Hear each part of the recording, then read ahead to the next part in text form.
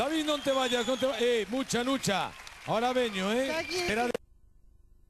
Después de David, Muy eh. bien. ¿Qué tal, David? Buenas noches. Emocionados, Oye, una emocionados cosa. por todo, dime. Somos dos y ellas también. ¿Tú crees que triunfamos esta noche? Pero después, después del programa, ¿no? Porque yo Ahí, delante del ahí yo creo, nos están mirando mucho. Ahí yo creo que pillamos cacho tú y sí, yo, ¿eh? Yo, yo, ya, ya mucha, ya, en fin, mucha ya se declaró. es que a mí eso de la falda tan corta a mí me... me, me- Claro, me- no me extraña, no, David, yo lo entiendo. Yo sé que va a ser difícil aguantar, pero vamos a, vamos a ser profesionales y aguantar hasta el final del programa. ¿eh? Aguantaremos por eso. Vamos allá. Oye, hablamos de superstición. Vaya llamada telefónica. Tú no te preocupes, yo estoy contigo.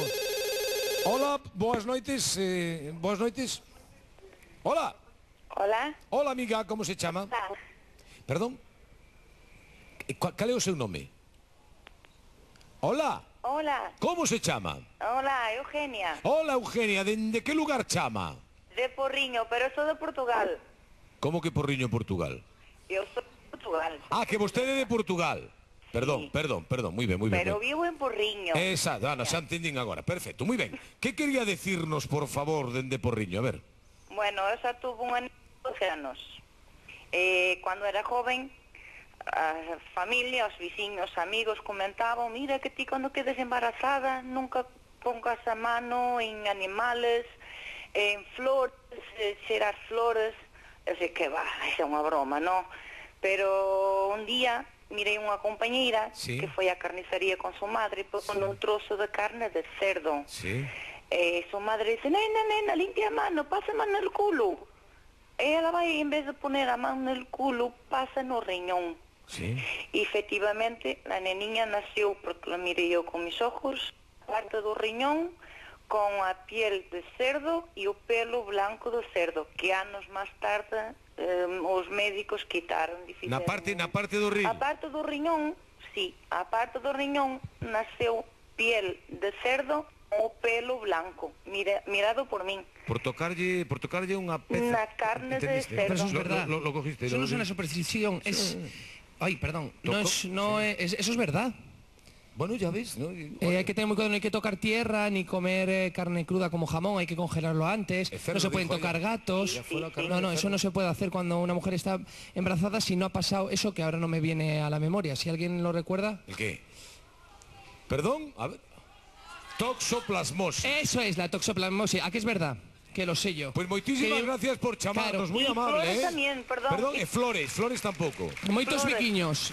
Muy ¿Sabes amable, qué pasa? Muchísimas gracias. Desde. Porriño, igualmente. Que a Pablo, Adiós, a Pablo le gusta mucho el jamón A y Paula, pre- precisamente lo tenía que congelar y se, porque no le había, paxa- no le había pasado. Sí. Y entonces, por tener cuidado con, con la niña, no podía. ¿Tú crees en esas cosas? No, no, eso, que eso, es, eso es verdad. Eso no, no es una superstición. Eso es, vamos, está comprobado por los médicos. Pero está demostrado científicamente. sí, que si te- Científicamente, sí. que claro. toca- como esta señora que toca una pieza de cerdo, te hacen así y ya está, sales aquí con el jamón. Bueno, tanto como tocar, no. Lo tiene que tocar la que está embarazada. No puede tocar la tierra, ni gatos, ni comer carne y no sé si alguna cosa más. Eso tiene que ser la embarazada, no porque te toquen así.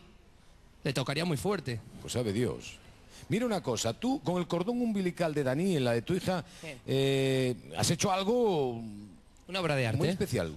Pero Mira, a ver, te explico. ¿qué, qué significado Me tiene? explicó un amigo mío, un amigo mío me explicó que si tú cortabas el cordón umbilical eh, despacio, eso es una leyenda india, Sí. pues que la criatura salía eh, tranquila. Si lo cortabas deprisa, Nerviosa. nerviosa. Y entonces yo pues me tomé mi tiempo que me tuve que decir, venga ya, Ya, ya, ya ya. vete cortando. Despacito, Porque si no, pero yo me lo tomé con tranquilidad y...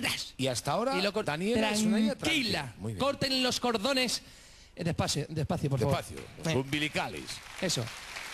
¿Es cierto lo que me han contado de que durante el embarazo de tu hija Daniela tenías los mismos antojos o más que tu mujer Paula?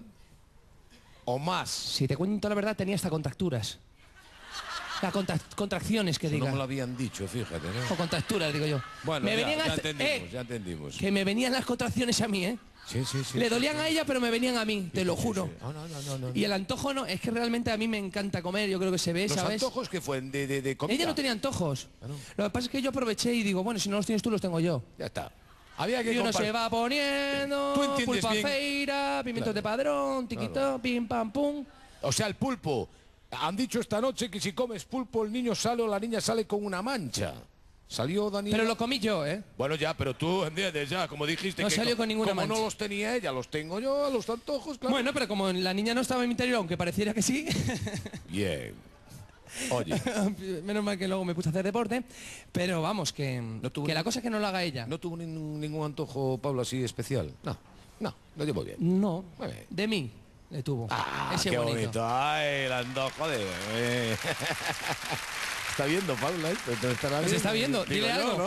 Lo No, que pasa es que se durmió, se pero durmió la niña antes, se durmió la niña antes, porque la habían puesto aquí para Sí. que le gusta mirar la tele. Y estuvo viéndote con, con los nos panchos. estuvo viendo, claro que bueno, nos no, estuvo no, viendo. Qué maravilla. Pero vamos, que nos está viendo, nos está viendo, mira. Si te cuento fuerte, todos los que nos están viendo, Sí. mi sobrina Leire con mis cuñados, mi padre, mis suegros que están allí en Castellón, que les está lloviendo de todo. Se han ido de vacaciones a un sitio con sol y les ha caído de todo, ya sabes los problemas que sí, están teniendo sí, allí. Me está viendo mi madre, Paula, la cría, están viéndonos todos. ¡Qué Un beso noche! para todos. Con la familia Bustamante entera.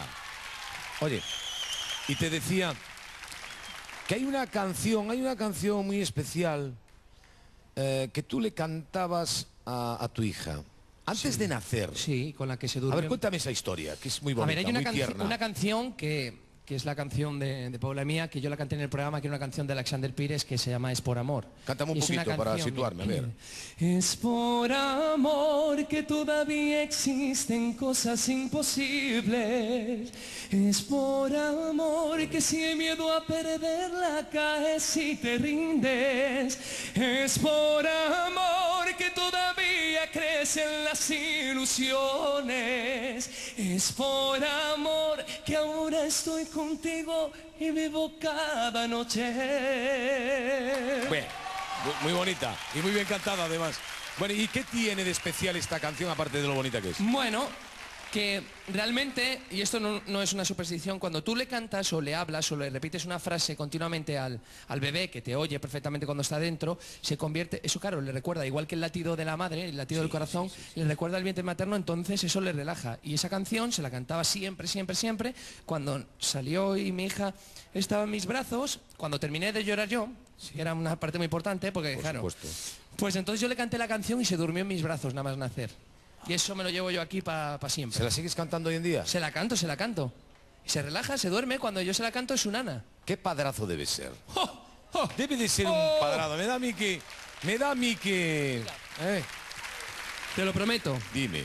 Que luego había un no sé qué periodista se metía conmigo por mi, por mi manera de hablar. Yo creo que hay que ser menos serio. Porque yo digo que soy quinto dan en cambiar pañales. Y a él le pareció mal. Porque hay que hablar con tecnicismos. Ya. La gente muy, muy- muy fija, muy No, fija. pero sí es mucho más fácil. Bueno, pues yo le cambio el pañal, le echo sus cremitas, la baño, le echo su colonia. Ahora ya le rapamos el pelo, entonces no la puedo peinar, pero vamos, que la peinaba de lado, una raya aquí perfecta, con escuadra y cartabón. Muy bien. Impresionante, vamos, yo la cuno, la duermo, todo, le limpio el popó, el pipí, el papá, todo. Esta mañana, sin ir más lejos. Esta mañana me sonrió antes de venir para acá. Mañana no la ves qué- no ves qué alegría cuando me hace ya. me sonrió. Mañana la ves otra vez. Hombre, que Sí, si la veo. Por la mañana ya estás allí. Vamos, y si no sale el avión voy corriendo. Perfecto. Claro. Te dejamos ir entonces, que ya... ¿Voy ¿Quieres para ir- allá? Quieres ir a buscarla, ¿verdad? Hombre.